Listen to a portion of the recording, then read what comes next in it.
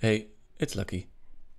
Uh, the creator of Godot just tweeted out some advice from people moving from Unity to Godot, and I wanted to run through this thread real quick and explain to you what everything means. So, the first piece of advice he gives is uh, you have to imagine Godot's scene tree as a tree of components without entities. This has two quirks. It's much clearer to understand at first glance, and composition is far more flexible.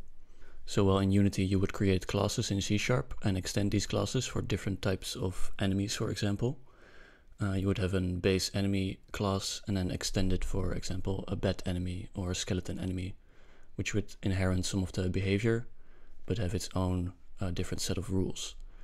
In Unity, this is done uh, in the composition, in the tree composition. So you can see in his example, he has a character with a base script, and then he has two different behaviors slapped on in the composition as nodes. So he's not extending the character class or the character script because there is no class, but instead he's adding on this behavior uh, with different nodes. Let me show you what this looks like in an example. Right here I have a basic floor setup and just these two physics uh, characters and these both have a basic script. The script is super simple, just applies the velocity to the character and if it has a direction, so a direction to move in, it will move in that direction. There's nothing about movement or jumping or anything within the script itself. Then I added on these behaviors uh, as separate nodes. So for example, hop movement. And in here comes the movement part. So here we have a hop timer and we have a jump speed. And you can see the timer runs down and then at zero it jumps. On the second enemy, I also have a behavior. Uh, this one just runs in a circle. So it gives an angle, applies that angle to the uh, direction, and applies the direction to the parent when we run this project, you can see one of them runs in a circle and one of them hops up and down. Now what's the advantage of this? Uh, it's in composition. So in Unity, if you were to create a character that would both run in a circle and hop and down, you would create a new class that extends the enemy class again and combines these two behaviors. Well, in Godot, we can just drag one of these behaviors, I save them as a separate scene. So here in my behaviors enemies movement folder, and I can just easily add this hop behavior onto the enemy that is walking in a circle. So now you can see as both of these behaviors, and when we run it now, and now you can see the second enemy has both behaviors without creating a second class, and it shows up in the scene tree. So behaviors can be much clearer at glance. This is kind of a weird example, but you could imagine behaviors being a character being fire resistant, or a character being able to open doors, or a character being able to chase the player. You could just create a base enemy and then grab all your uh, behaviors and composite an enemy to your liking within the scene tree without touching any of the code. The second thing he touches on is that you don't use multiple scripts per node, but instead add nodes with scripts. That's what I explained before.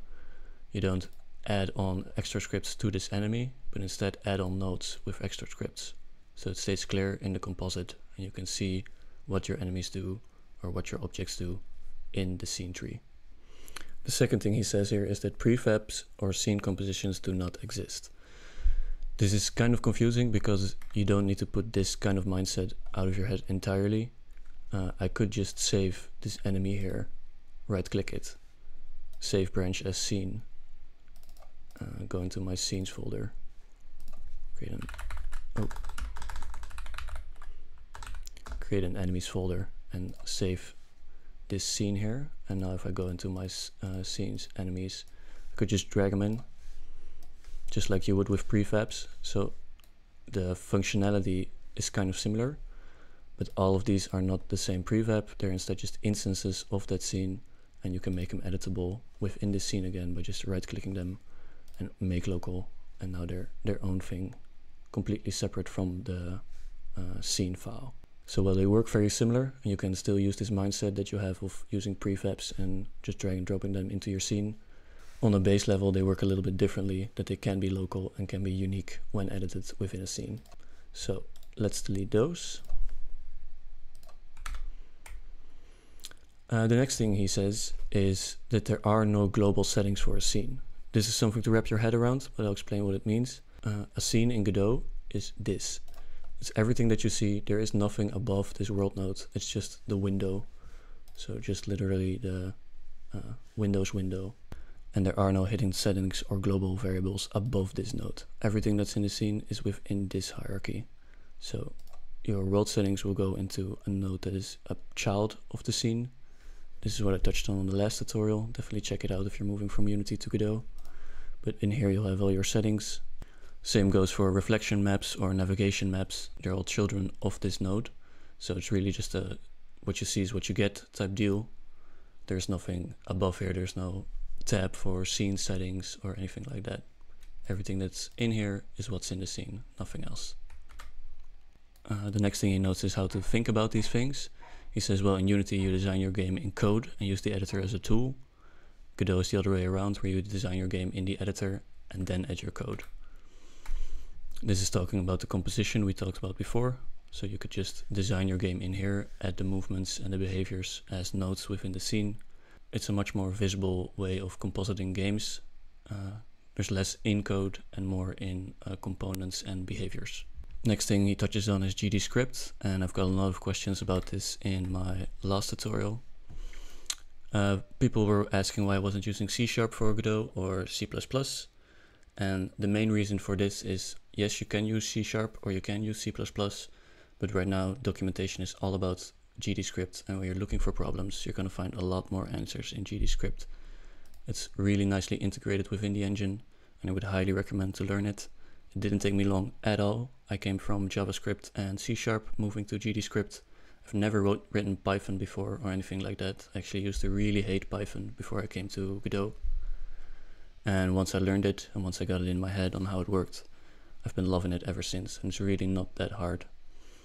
When you know how to code, you'll know how to write GD scripts in no time. So I'd highly, highly recommend to just stick with GD scripts and learn a new language because the support is just 10 times better when using GD scripts. So really try and uh, use it, in my opinion. Of course, you can do whatever you want, but if you want great support online, GD script is the way to go in my book.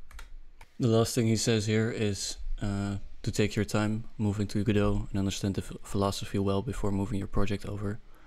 I heavily agree with this. Uh, really understand how Godot is meant to be used and don't just brute force your Unity projects into Godot using the same principles because Godot just works a little bit different and once you get your head around it, it's a lot nicer to use it in the way that's intended instead of just brute forcing your uh, Unity skills onto Godot. So yeah, play around with it a bit, make some learning projects, fail a bunch, learn a lot, and welcome to Godot.